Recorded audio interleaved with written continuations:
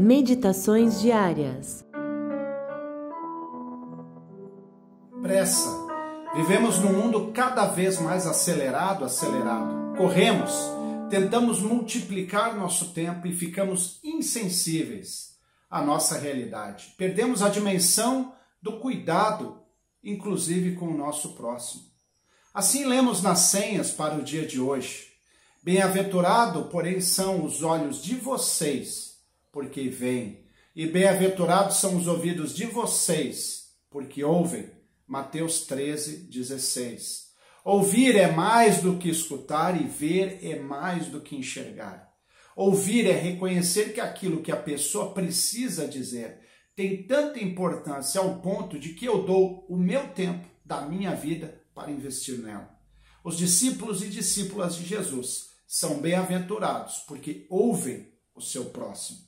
Vivemos numa multidão de pessoas solitárias. O mundo carece de pessoas que ouvem.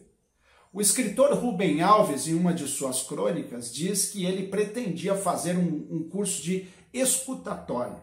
Muitas pessoas ensinam como falar, poucas ensinam a ouvir. Jesus nos ensina a importância de ouvir. Numa noite fria de Curitiba, alguns anos atrás, um grupo de jovens saiu para distribuir chocolate quente para moradores de rua.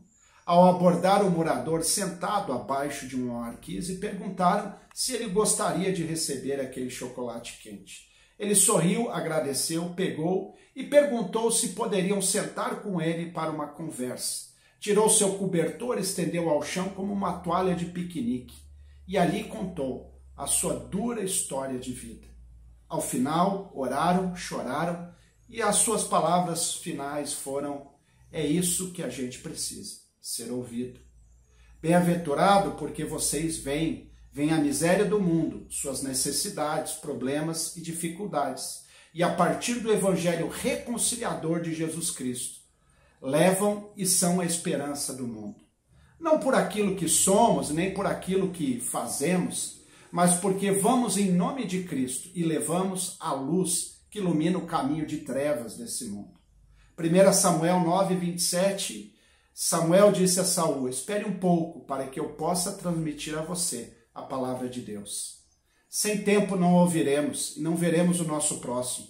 Se não vemos e ouvimos o nosso próximo, não experimentaremos a dimensão da palavra transformadora de Cristo.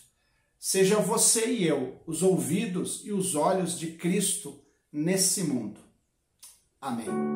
Meditações diárias. Todos os dias, uma reflexão da Bíblia para fortalecer a fé.